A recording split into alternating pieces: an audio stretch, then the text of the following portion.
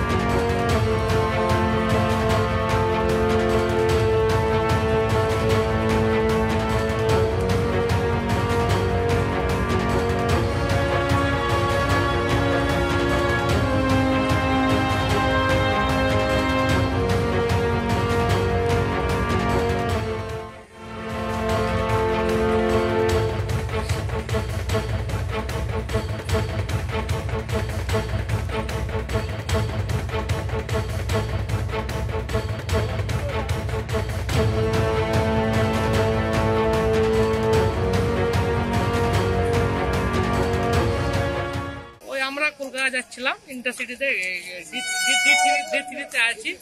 হঠাৎ দেখছে ধুয়ো দিয়ে প্যাসেঞ্জার মানে আতঙ্ক হয়ে গেছে ড্রাইভারকে বলা গার্ডকে বলা পুলিশকে বলে পুলিশকে বলল দিয়ে গাড়ি করে দাঁড়াল।